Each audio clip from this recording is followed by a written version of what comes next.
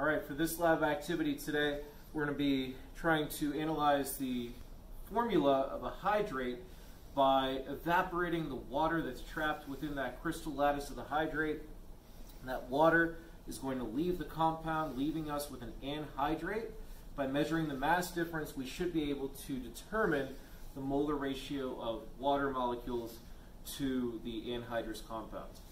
The first thing that we want to do anytime that we're doing gravimetric analysis with heating is we always want to weigh our empty dish because this compound will stick to the dish and it's going to be really hard to scrape it back out after it's been heated. So the first thing that I'm going to do here is I'm going to weigh my dish.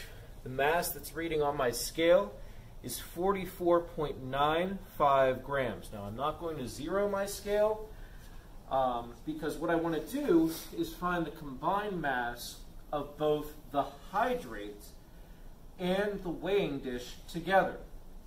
So I'm going to add approximately 3 to 5 grams of my hydrate to this dish, record the combined mass of both, and then from there, we'll use the total change in mass between beginning and end of heating to determine how much water was driven off.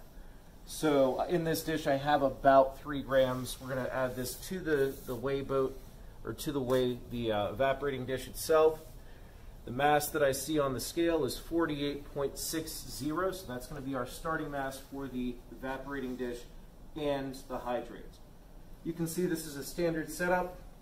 Just like with our magnesium lab, we have a ring stand, a clay triangle, and I have my Bunsen burner ready to go. I'm going to light that. I'm going to adjust the flame just so that the flame is touching the bottom of the dish and so that the flame isn't shooting up around the sides of the dish.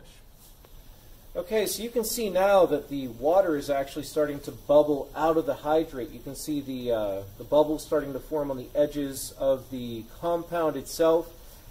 The, uh, the intensity of the flame, we don't really need to get that tight inner cone for this lab. As long as there's enough heat to drive out and evaporate the water, we should be good. You'll start to see the edges of the hydrate starting to change color. The center of that pile has more of a translucent um, hue to it. The edges, you can see, are starting to become a little bit more opaque, and that's a sign of dehydration occurring inside the crystal structure of the hydrate. At this point, we've finished our heating. The sample at this point has a very opaque texture to it. You can see that most of that clear, translucent um, color has disappeared. And what we're going to do now is we're going to transfer our sample to the scale very carefully to reweigh it to see how much mass we lost. The first thing I'm going to do is I'm just going to check to make sure that my ring stand and my dish is not still radiating heat. You can do that by simply putting your hand close to the dish within a few inches. It still is fairly warm, but it's cool enough for me to use the beaker tongs to be able to transfer it to the scale.